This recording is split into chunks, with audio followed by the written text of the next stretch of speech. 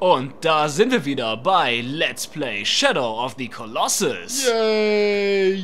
Wollen wir doch mal schauen, dass wir Nummer 15 aus seinem ins Tal gestürzten wieder rausholen? Ich bin gespannt. Ich schätze mal nicht, dass wir den da wirklich wieder rausholen können, oder?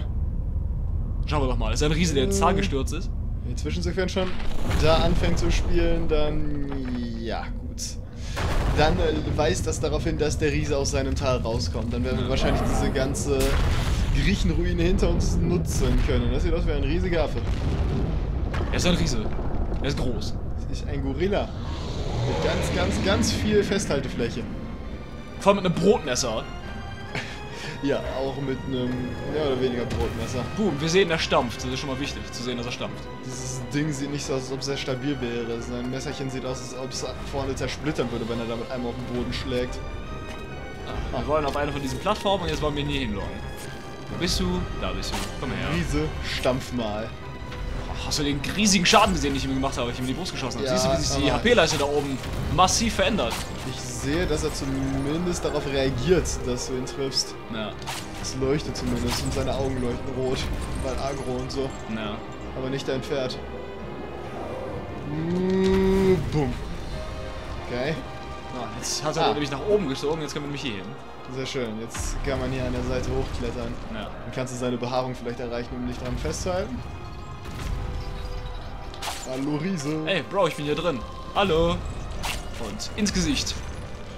Ich bin gespannt, wie gut dieser Kampf hier funktionieren wird. Du sagtest ja, du magst den nicht sonderlich. Es ist so ziemlich mein Hasskampf, den musste ich am häufigsten in der Time Attack nochmal neu machen. Wenn mag man- man nicht angreifen. Weil man ihn dazu bringen muss, alles in diesem Kampf zu tun, praktisch. Also das ist ein bisschen sehr nervig. Äh, sollte er dich nicht angreifen? Sollte er ja. Strahl. Aber er muss sich erstmal richtig hinstellen, um mich angreifen zu können. Ah, okay. Deswegen will er gerade mich attackieren. Aber seine Augen sind noch gar nicht mehr rot. Komm, Bro, mach was. Jetzt, er schlägt er. Ich habe seinem Schwert einmal hier gegengenockt und hat damit die Sachen hier kaputt gemacht. Jetzt kannst du noch weiter hochklettern, Ja, jetzt oder? können wir noch weiter hochklettern. Sehe nichts. Ah. Nein? Doch, da man müssen, da wir, da müssen wir lang, aber ich war mir nicht sicher, ob ich richtig hoch genug hochgesprungen bin, deshalb habe ich aus Versehen Die den... Kamera ist auch herrlich an der Stelle. Ja, also. ist fantastisch. da kann man echt nichts gegen sagen. Aber ist hier ganz Ähm, großartig. 10 von 10 Punkten in der Kameraführung. Ja. Da oben Achso, da kann er sich festhalten. Das musst du aber wissen. ja, Also ehrlich, die Kamera ist hier das ist äußerst suboptimal. sehr fragwürdig. Ist der Bogen eigentlich wirklich pink? Ist mir nie so richtig Ja, der. Bogen ist pink. Wow. Wer in aller Welt kämpft mit einem pinken Bogen? Wanda? Ich habe nie so richtig auf die Farbe von dem Ding geachtet. Ich habe mir immer automatisch als hellbraun interpretiert, aber gerade als er etwas näher zu sehen war, pink. Ja. Ich meine, in Fire Emblem habe ich auch spaßenshalber. Manche Spiele haben tatsächlich die Möglichkeit, dass du deine Farben Waffen ändern kannst, wenn du die in der Schmiede veränderst. Manchmal auch äh, spaßenshalber pinke Waffen gemacht, aber freiwillig einen pinken Bogen, wirklich? Ich weiß ja nicht. Und jetzt muss er dir die Brücke auch noch zerschlagen, auf der du stehst? Ja. Jeez. Äh, überlegt sich's noch. Ja, man muss praktisch dazu bringen, alles in diesem Kampf zu tun. Ja, überlegt sich's noch. Hallo Riese. Ah, jetzt schlägt. Jetzt holt er aus. Und stell von der Brücke runter, weil du sonst wahrscheinlich runterfällst. So, jetzt hat er die Brücke zerbröselt. Ich sollte noch oben drauf stehen. Okay. Hoffe ich. Und jetzt hast du eine Absprungrampe von da aus Jetzt ihm? dürfen wir tatsächlich auf ihn draufspringen, sobald er unter uns ist. Wuhu. Endlich kommt er mal zu einem hin. Ja. Das ist einer von den Bossen mit der meisten Behaarung und so ein Umstand, um mal an diese Dinger ranzukommen. Ja. So, jetzt Schwachpunkte finden. Ah ja, stimmt ja, die kommen erst, wenn das Schwert Ja. draußen ist. Uah, auf seinem Kopf haben wir schon mal Nummer Ja. Headbang ganz gerne.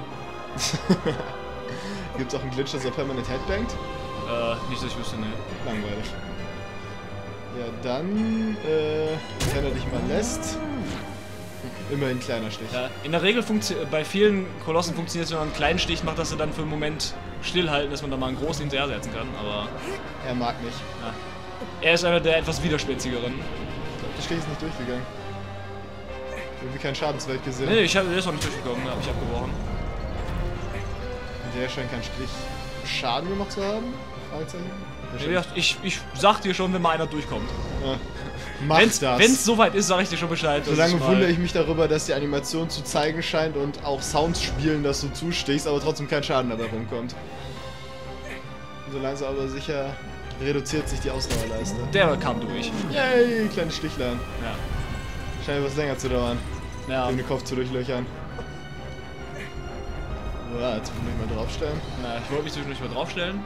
Ja, keine anderen Schwachpunkte? Ich sehe gar keine. Er hat noch andere Schwachpunkte. Nimmt Die so, sind aber etwas besser versteckt. so wenig Schaden darum, dass ich einfach mal vermute, es wird nicht sein einziger sein können.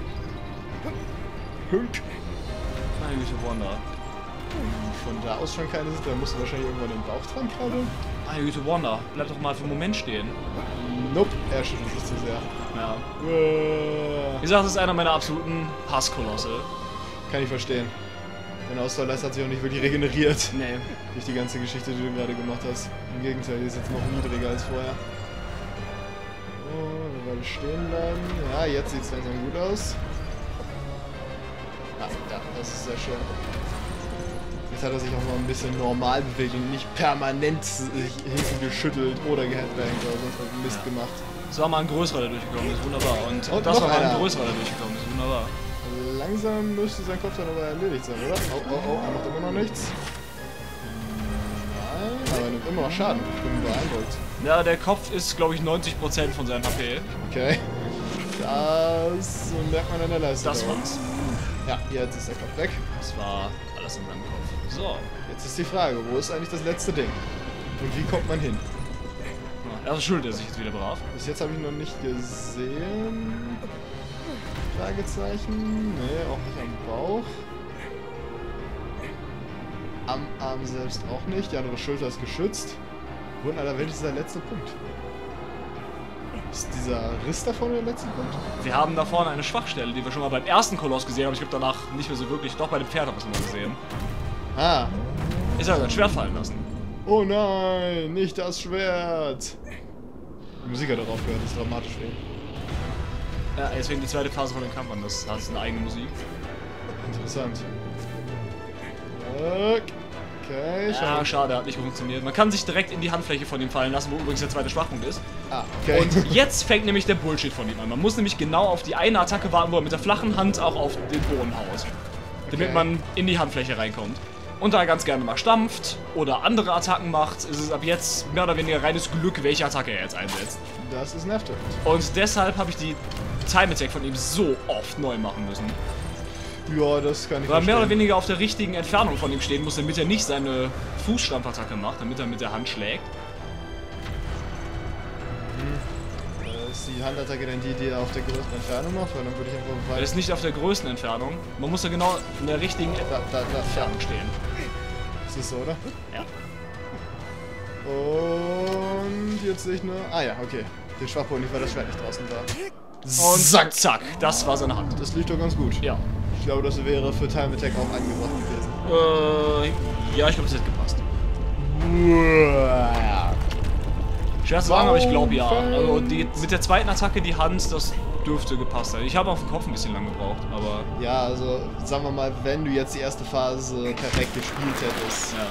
wenn wir nicht Kameraprobleme gehabt hätten und beim Hochspringen ein bisschen gebraucht hätten. ja. Aber ich, ich glaube, es hätte sogar damit, hätte das glaube ich noch passen können. Ich bin mir gerade nicht ganz sicher, was die, was die Zeit von ihm in der Time Attack ist. Aber wenn mich nicht alles täuscht, war das der vorletzte Gigant. Das war tatsächlich der vorletzte Koloss. Es kommt nur noch ein finaler Boss, dann ist das Ganze hier schon vorbei. Ja, hör mal. Speichern, speichern? Nö. Nö. Wollen wir nicht. Und die Party wird noch größer. Ja, guck mal, vor Nummer 16 kriegen wir keine neue Cutscene. Geisterparty ist die beste Party. Die Ja. Geisterparty hört nämlich erst auf, wenn die Kamera schwenkt. Das ist der letzte auf der Seite, oder? Der letzte auf der rechten Seite. Bröckel. Ungeraden Bosse vernichtet. Yay. Stempel drauf. Ja, kpruck. Acht Grade besiegt. Kpruck. Ja, wunderbar. Ja, Er steht schon wieder. ja. Sieht aber nicht wirklich viel gezeichneter aus als vorher, obwohl sein Cape inzwischen sehr zerfleddert ist. Ja. Hab schon irgendwelche roten und braunen Stelle an Armen und Beinen und so. Gesund sieht er nicht mehr aus. Endlich der letzte Koloss. Oh, ein neuer Dialog. Das wird ja Zeit. Ja, das Ritual ist fast vollzogen. Euer Wunsch ist fast gewährt. Euer Wunsch nach Tod. Ich wette, der bringt uns nur um am Ende. Doch nun steht jemand bereit, euch in den Weg zu treten. Standen auch die letzten 15 Male. Äh, ja, irgendwie schon, ne? Ja. Der letzte Boss ist sogar wirklich auf uns zugekommen. Beeilt euch, die Zeit wird knapp. Ich glaube nicht, dass wir wirklich ein Zeitlimit haben, oder? Nee, nicht wirklich. wir könnten jetzt durch die Gegend gehen, sämtliche Früchte von Bäumen sammeln, sämtliche Salamander sammeln, wenn wir lustig wären. Nee. Es würde nichts äh, daran verändern. Ich habe auch keinen Tipp gekriegt, wo wir hin müssen und was es ist. Ja. Na, wir, haben den Hin wir haben den Hinweis bekommen, ey, es ist der letzte. Wuh, da wäre ich jetzt nicht drauf gekommen. Ja. Pferd, spiel mit. ja. Dankeschön. Wir müssen an, an, an eine ganz wunderschöne Stelle. Wir müssen nämlich ganz in den Süden. Einmal geradeaus. Ab in den Süden. Ja. Man könnte meinen, man müsste wieder zum ersten, aber nein, man muss tatsächlich einmal um das ganze Bürger rum. Okay. Überraschenderweise ist er nicht an der Stelle, wo der erste ist. Das wäre auch mal ein merkwürdiger Plot-Twist. Ja. Der letzte Boss ist in Wirklichkeit der erste. ja. Wiederbelebt. Nochmal. Dun, dun, dun. Ohne dass er stärker ist.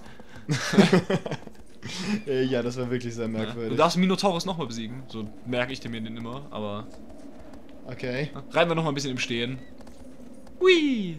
Nur wir das können. Ich habe immer noch nicht angeguckt, wie man andere Manöver macht, aber wie gesagt, alles halb so wild. Könnte man eigentlich irgendwelche Sachen freispielen, wenn man die Time Attacks jetzt schon machen würde? Also wenn man die jetzt schon alle schaffen würde, kriegt man dann schon irgendwie Items? Ich glaube nicht.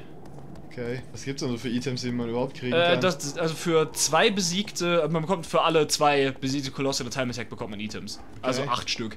Äh, man bekommt, eher auf dem normalen Modus bekommt man als erstes, glaube ich, Five Pfeile.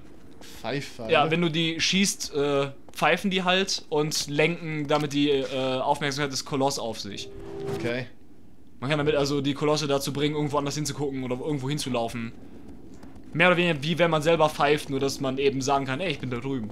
Hm. Hey, Klar. ich bin da drüben.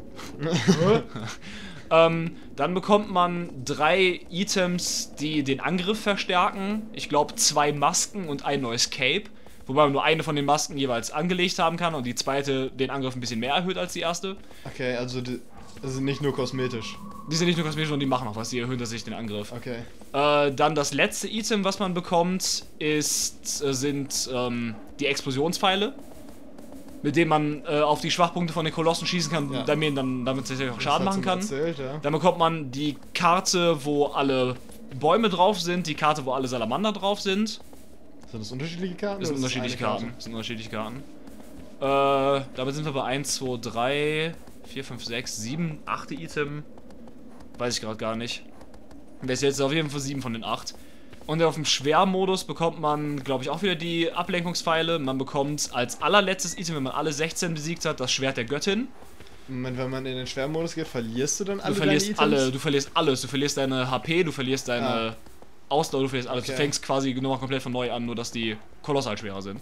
Also, Du musst die okay. Time Attack alles nochmal komplett neu machen. Die haben da auch andere ähm, Zeitvorgaben, die Kolosse auf Schwert. Zum einen, weil die teilweise halt neue Schwachpunkte haben. Und die, die keine neuen Schwachpunkte haben, haben trotzdem einfach kürzere Zeit, in denen du das machen musst. Okay. Ähm, da bekommst du als allerletztes Item, wie gesagt, das, das Schwert der Götte, mit dem du alle Kolosse one-hittest. Das ist ein bisschen übertrieben. Ja. Dann bekommst du auch wieder die, die Salamander-Karte, die Baumkarte. Du bekommst drei Items, die deine Verteidigung erhöhen. Ich glaube auch wieder zwei Masken und ein Cape.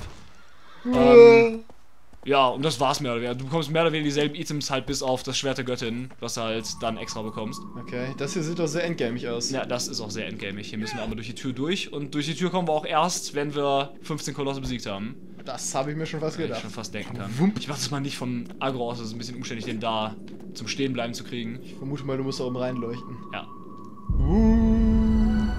Nur dieses Schwert kann die Türe öffnen und auch nur nachdem du Ja. 15 Kolosse vernichtet Hat, hast. hat ein bisschen was von äh, Indiana Jones. Leuchte das Licht an die bisschen. richtige Stelle. Auch wenn andere Franchises das genauso gemacht haben. Ja. Ich bin mir halt nicht sicher, wo es angefangen hat. Das kann man bei solchen Sachen schlecht sagen. Ja. Aber hier haben wir den finalen Speicherpunkt im Spiel. Angefangen hat es wahrscheinlich irgendwo in den Zeiten, als Filme noch nicht existiert haben. Ja. Wenn man also nochmal speichern möchte, ist dann äh, hier die letzte Gelegenheit dafür. Scheinbar kann man Agro aber erstmal mitnehmen in Richtung Wir Kampfgebiet. müssen sogar Agro mitnehmen. Weil wir nicht über diese Brücke kämen. Ich nicht? Nee, ist zu weit. Oh, äh, ja. Ist das eine Cutscene gerade? Ja. Okay. So gut, dass davor war keine Katze, jetzt hat die Katze angefangen. Nein, das Pferd! Artax, nein! Nein! Agro! Äh, Platsch. Klatsch. Hab bestimmt überlebt. Bestimmt wieder da, wenn wir wieder rausgehen. Also, es kann mit Laserstrahlen abgeschossen werden und überlebt das. Gott sei Dank. Wir hoffen einfach mal, dass er schwimmen kann. Obwohl er bis jetzt bewiesen hat, dass er nicht schwimmen kann. Aber wir hoffen mal, dass er in diesem Fluss schwimmen kann. Ist nur in den Fluss gefallen, er hat überlebt, ist ein Pferd.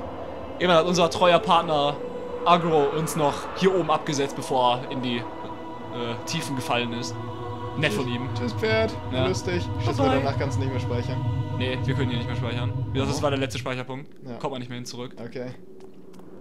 Ja, dann äh, müssen wir hier wohl weiter hochklettern. Sieht schön aus hier. Das wäre ja nicht der Weg zum letzten Koloss, wenn man nicht noch klettern müsste. Einmal noch Jump and Run Gebiet. Wuhu. Ne? Platforming. Plattforming ist immer lustig. Ja. Nein, in dem Spiel ist es wenigstens nicht ganz grauenhaft gemacht, das Plattforming. Ja. Außer du musst an eine Kante springen, die gegenüber ist. Das ist immer grauenhaft. ja. Oder du musst rückwärts springen. Die Rückwärtssprünge sind immer. Äh.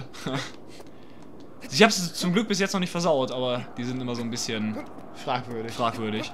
Hüpf. Quark. Quark. Es gab auf der PS2, ich glaube, es wurde auf der PS3 äh, ausgebaut, wenn du genau schräg gesprungen bist, hast du keine Ausdauer verbraucht. Damit konntest du direkt am Anfang des Spiels auf den äh, Tempel, wo man anfängt, hochklettern. Weil du keine Ausdauer verbraucht hast Praktisch. beim Hochklettern. Ich schätze mal, den Bug haben sie gefixt. Ja, den Bug haben sie, soweit ich weiß, haben sie den gefixt. Ja. Ja. Selbst wenn da oben drauf gibt's nichts, was man, was einem im frühen Spiel irgendwie helfen würde. Ich dachte, das sind irgendwie Früchte und Salamander drauf. Da sind Früchte drauf und keine Salamander und die Früchte, die du da oben isst, verringern deine HP und deine Ausdauer. Sodass Hä? du dich wieder auf Level 1 zurücksetzen kannst. Cool. Sind die verbotenen Früchte des Tempels, damit kannst du alle deine Werte wieder runtersetzen. Falls die gehen nicht unter, haben die gehen nicht unter das Minimum, aber also nicht unter den Startwert und du kannst sie wieder auf den Startwert zurücksetzen. Weshalb es nicht wirklich Sinn macht, da hochzugehen. Außer sich das mal anzugucken. Und wenn du alle, ich glaube, es sind irgendwie 55 Früchte oder so, die da oben drauf sind, wenn du alle 55 Früchte gegessen hast, kriegst du dafür eine Cheat. In der PS3-Version, schätze ich. Ja. Beziehungsweise du musst halt alle Früchte der Welt gegessen haben, da zählen die da oben mit dabei. Ah, ja. Zusätzlich zu den Früchten, die halt. Also sollte so man die so früh wie möglich futtern. Wenn man nicht unbedingt die sind. Ja Herausforderung gut, du, du haben musst mehr oder weniger zwei, dreimal durchgespielt haben, um genug Ausdauer zu haben, um da hochzukommen. Hm, wunderschön. Ja, Und dann musst du freiwillig wieder alles auf Null reduzieren. ja. Ja gut, danach musst du nicht speichern. Also. Sieht schön aus. Ist das gesamte Ding der Koloss? Ja. Äh, okay, also sind wir gerade an dem Koloss schon ein ganzes Stück hochgeschlittert. Nee. Die steht noch sehr weit von ihm weg. Aber wir kommen schon mal seine Cutscene. Okay, der letzte Koloss ist mehr oder weniger ein Dungeon eines anderen Spiels. Ja. es sieht so aus, als wäre ein betretbarer Turm in einem anderen Spiel. Ja. ja. Er zeigt auch schon so ominös auf uns. Von daher würde ich sagen, her. kommen wir doch mal zu ihm beim nächsten Mal. Aber man zeigt nicht mit nackten Steinfingern auf angezogene Leute. Ja, echt Frechheit. das ist. Unhöflich ist. Ich finde, du solltest ihm dein Schwert einfach mal eine Schwachstelle rammen. Ja. Ja, dann bis zum nächsten Mal, wenn wir das Spiel wahrscheinlich auch schon zu Ende bringen werden. Vermutlich. Bis dahin. See ya. Aloha.